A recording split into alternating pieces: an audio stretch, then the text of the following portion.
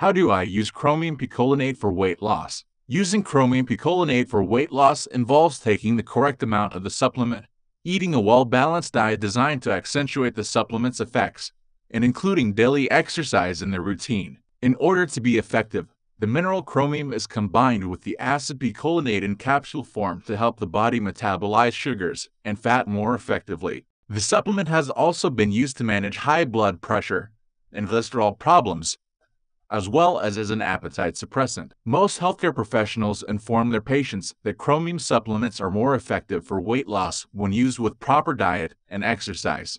As with any type of dietary supplement, Patients should consult a medical professional before taking this supplement. The first step in correctly using chromium picolinate for weight loss is determining the correct dosage. Most health experts suggest taking 400 mg of either the tablet or capsule form before meals, especially when exercising immediately after eating. For people who prefer to only take chromium, there is a liquid supplement available designed to be taken with a liquid beverage just before exercise.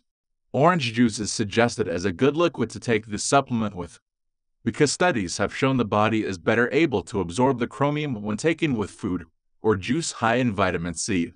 Losing weight almost always requires the person to eat a well-balanced, nutritious diet. The standard recommendation suggests creating a diet rich in fresh vegetables, fruits, and natural grains. It's also best to limiting dairy and consume only lean meats.